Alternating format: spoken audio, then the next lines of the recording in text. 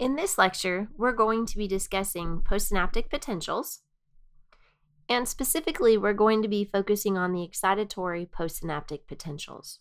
Before we begin, let's take a look at our outline for this chapter. And so, this segment is on synaptic transmission and how a presynaptic neuron communicates with the postsynaptic neuron and what happens when that ligand binds to the postsynaptic neuron.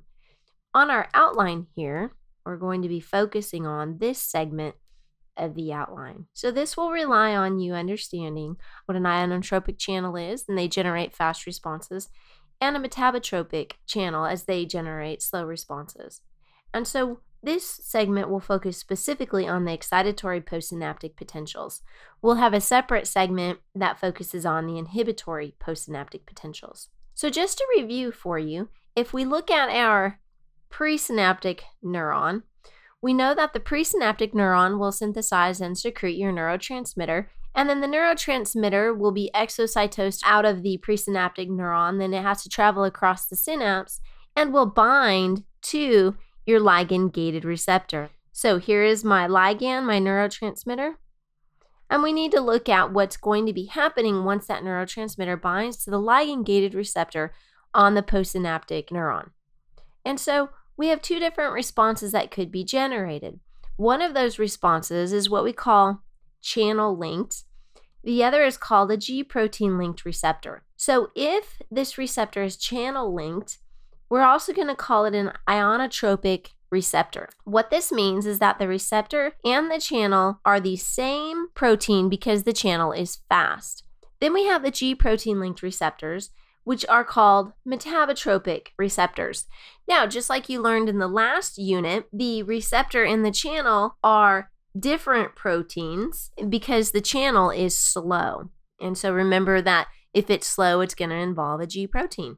So, first, when we talk about postsynaptic potentials, it's really important that you understand a postsynaptic potential is a type of graded potential. And when we look at this interaction between the presynaptic neuron and the postsynaptic neuron, when the neurotransmitter binds to the ligand gated channel, that can generate a graded potential.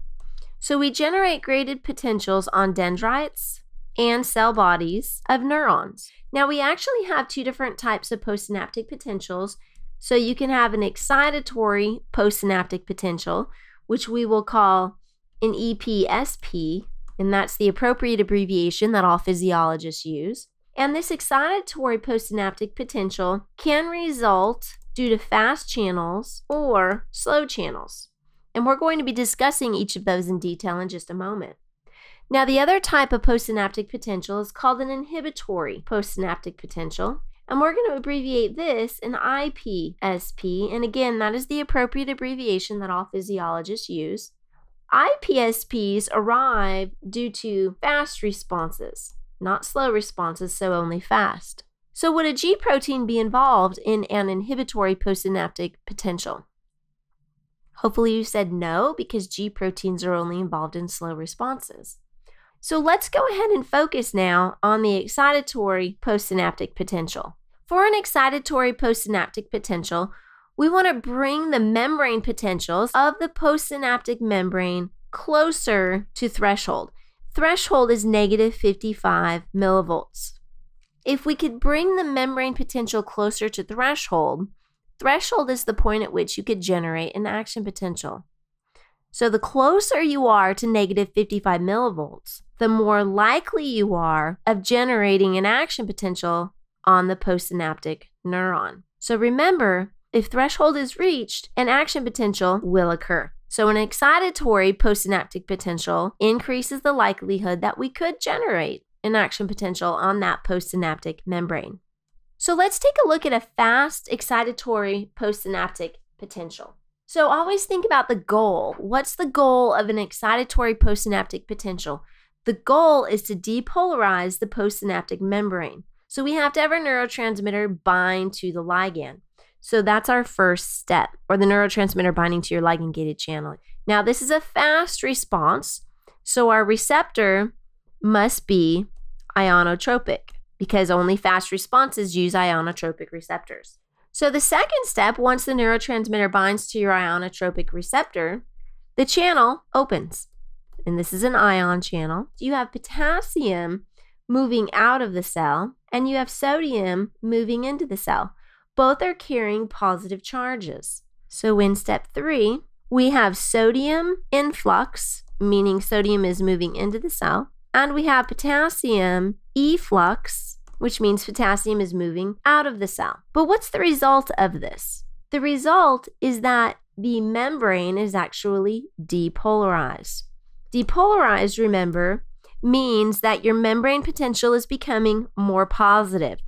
So, if our membrane potential is becoming more positive, do we have more sodium influx or more potassium efflux? The answer is that we have more sodium influx than we do potassium efflux. So, in other words, there's more positive charges moving into the cell, which then make the membrane potential more positive or depolarized. So, hopefully, you were asking yourself, well, why is there more sodium moving into the cell than potassium moving out of the cell? So, this takes you back to your gradients and thinking about driving forces. So, which ion would have a greater driving force?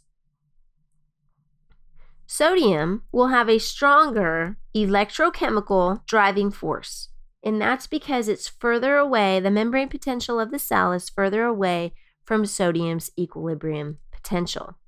Let's look at a slow excitatory postsynaptic potential.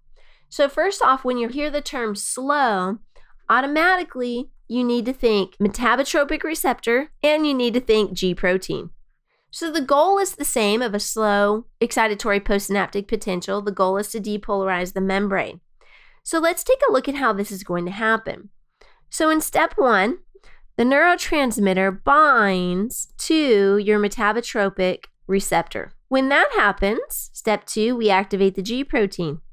So remember that GDP has to fall off the alpha subunit. GTP binds to the alpha subunit and it slides over, and we activate adenylate cyclase. Once adenylate cyclase is activated, then we can cause the conversion of ATP into our second messenger. So we produce cyclic AMP. So we have a second messenger involved now. Cyclic AMP, then, we know, activates protein kinase A, PKA. And then in the past, we've always said, well, protein kinase phosphorylates a protein. And then we pretty much stopped at that level. When we activate protein kinase A, that is going to phosphorylate the potassium leak channel. So, channel is a protein, so we are phosphorylating a protein, but specifically, we're phosphorylating the leak channel. In response to that, this potassium leak channel closes. So, if it's closed, can potassium move through the channel? And the answer is no. Okay, but remember the goal. Potassium cannot leave the cell, but we want to depolarize the membrane. We want to make the membrane potential more positive. What is still open? What channel is still open on the membrane? Those are the sodium channels. We have sodium influx. And when we have sodium influx, that brings more positive charges into the cell. Remember, potassium cannot leave, so we don't have positive charges leaving the cell. We only have positive charges coming into the cell.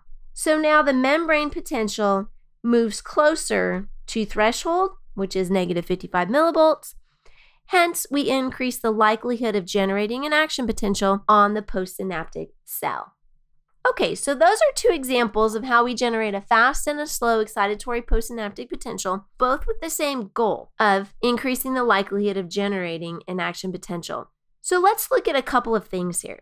If the frequency of an action potential traveling down the presynaptic neuron is increased, how would this affect the number of excitatory neurotransmitters released? Well, we're going to release more neurotransmitters because there's more action potentials coming down the presynaptic neuron. So the number of neurotransmitters, therefore, that get to bind to the receptor will also increase. How this affect the chances of generating an EPSP reaching the axon hillock? That will also increase. It increases our chances of doing it that, which therefore increases our chances of generating an action potential on the postsynaptic neuron.